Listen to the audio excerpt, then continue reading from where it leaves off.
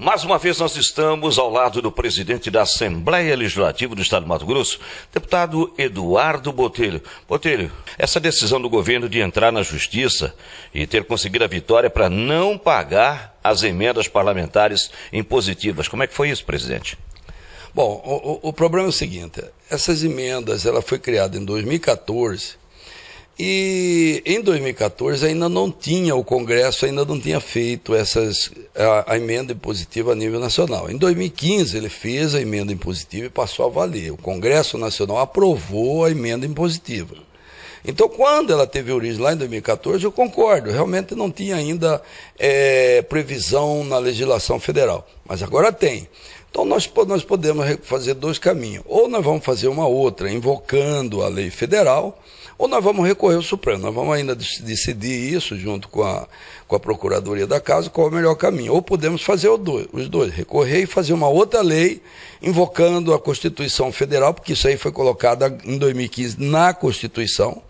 É, isso é direito dos deputados federais, dos senadores, destinar emenda para os estados.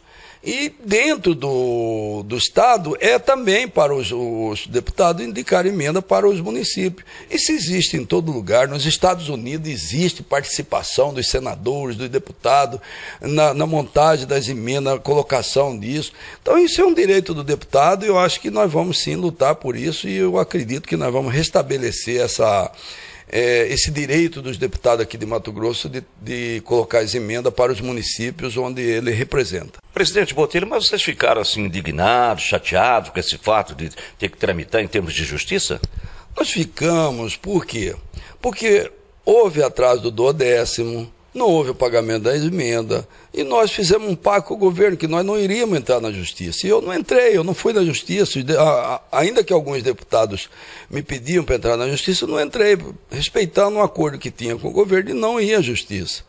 Agora, ele foi, eu não sabia, nem sabia dessa tramitação dessa ação judicial, então nos pegou de surpresa e nos deixou, de certa forma, chateado, porque nós não fomos, ficou devendo do décimo, nós não fomos na justiça, não pagou emendas, nós não recorremos à justiça.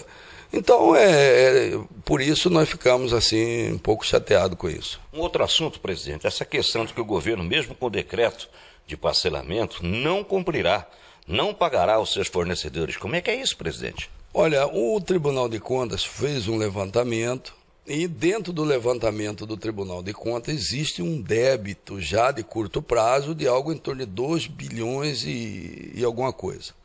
E eu perguntei para o secretário, secretário, se parcelar toda essa dívida em 11 parcelas, o senhor tem como parcelar tudo? Nós pegar esse montante que o Estado deve parcelar?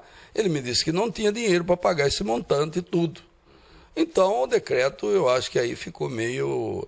É, é, é já que não atende todo mundo, então não ficou muito legal esse decreto, ficou meio assim, duvidoso. Agora, uma avaliação do senhor, as campanhas, e a campanha do Mauro Mendes é, eu acho que a campanha, do modo geral, ela pegou muita força depois que começou o horário eleitoral.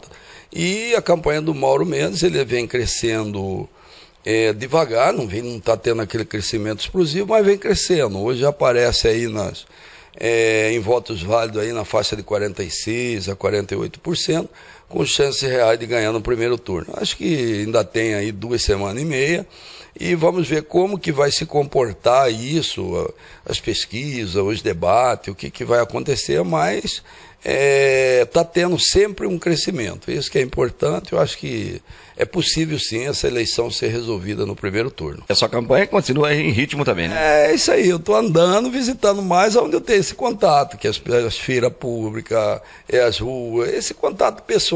Eu não sou um grande orador, não sou um grande é, pessoa para fazer discurso, então tem que ir no tete a tete, na conversa de, de, de cara a cara, olhando nos olhos. E estão fazendo isso e graças a Deus está indo bem.